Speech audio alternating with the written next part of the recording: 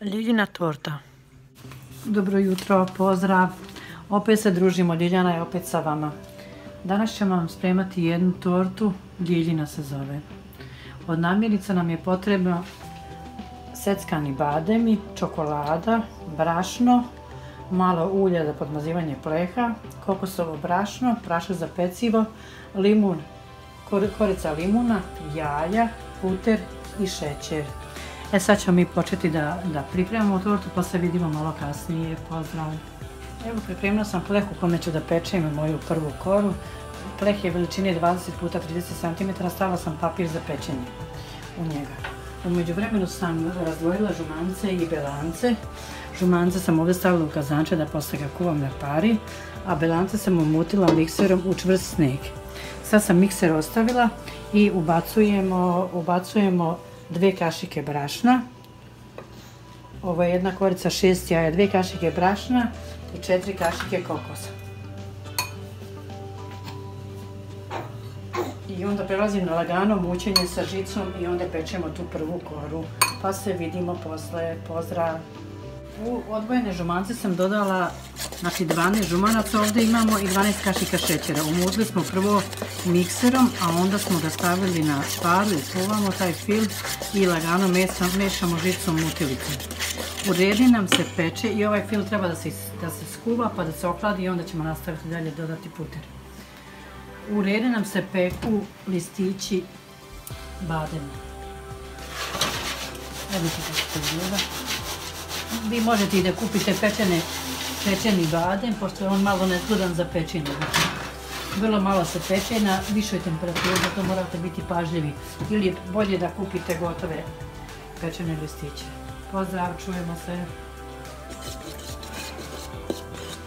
Evo sad je fil gotov. Znači, tačno se vidi kako se zgušnjava. A vidite ovo, lepo kad ga ja ovaj, mešam, vidi se gustina tog sosa.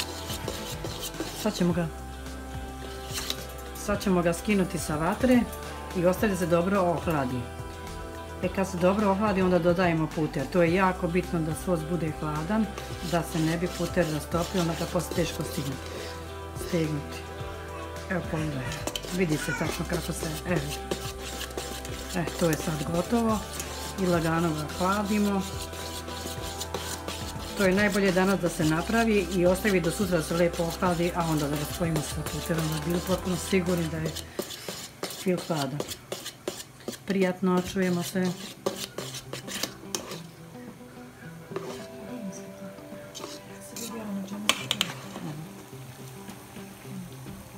Sad u žuti fil koji smo spremili na pari ubacujemo puter. Fil je dobro ohlađen. Sad samo da ubacimo puter pa da uradimo zajedno sa puterom.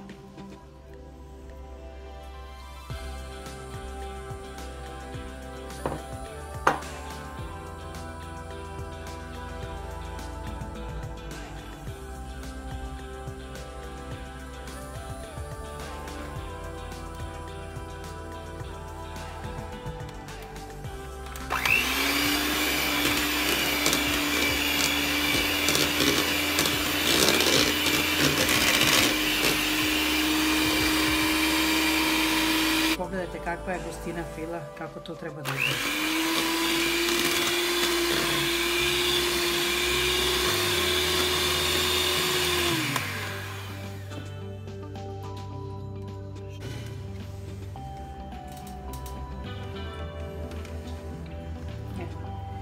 Korice ćemo sada da natopimo malo sa cijeđenom pomoranđom i džusom. To sam jednu čašu džusa i jednu pomoranđu iscijedila. Sad malo natopimo kore.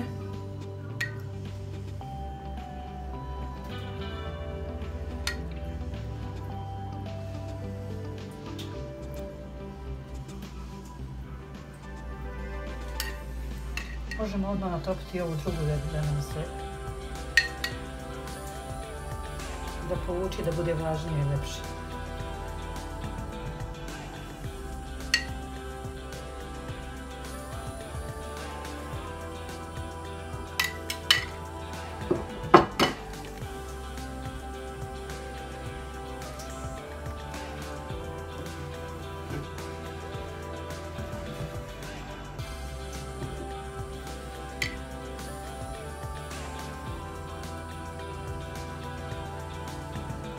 Sad na, na natopljenom koru sa džusom od pomoranđe stavljamo žuti fil.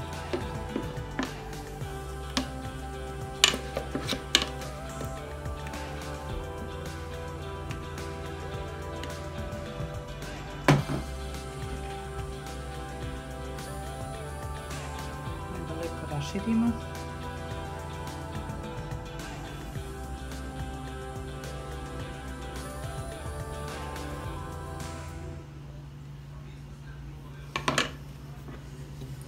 Preko žutog fila idu pečeni bademi.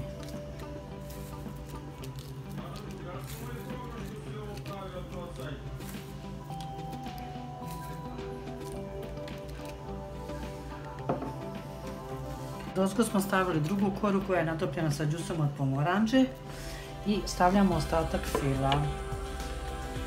A onda se vidimo kasnije.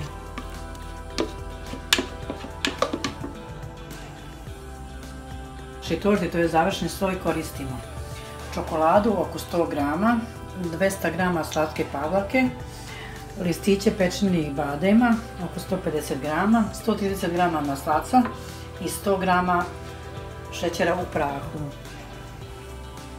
E sad pristupamo u završnom delu pravljena fila. Masla smo držali na dnevnoj temperaturi, možda jedan sat ili minut i po u mikrotalasnoj kako vam je lakše. Onda mutimo. Dodajemo 5 kašika šećera, prah,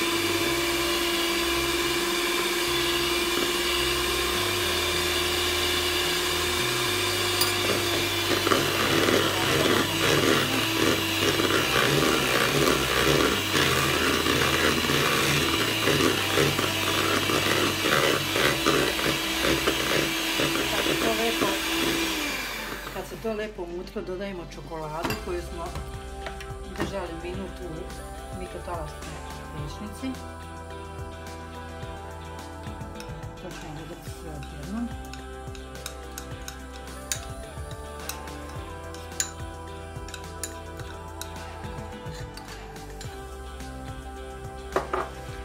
A ovdje nam je neutralna pavlaka već umučena. Spojimo čokoladu i puter, onda dodajemo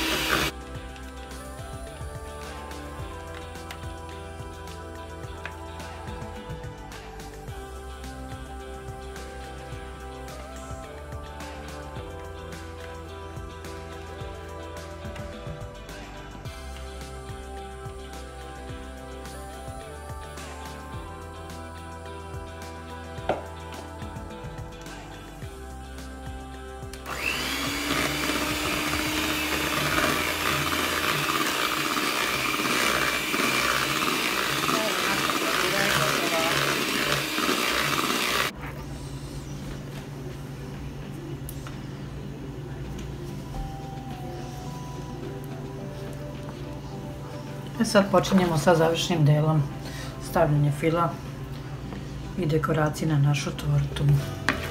Evo pogledajte gustinu kako je to divan fil.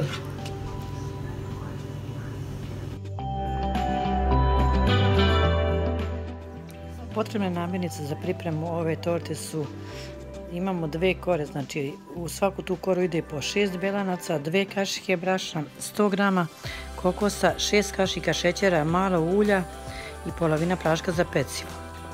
Žuti fil ide 12 žumanaca, 12 kašika šećera i 250 grama putera. Fil broj 2 sa čokoladom ide čokolade 100 grama, putera 125 grama, prah šećer 5 kašika i slatka pavlaka 250 grama.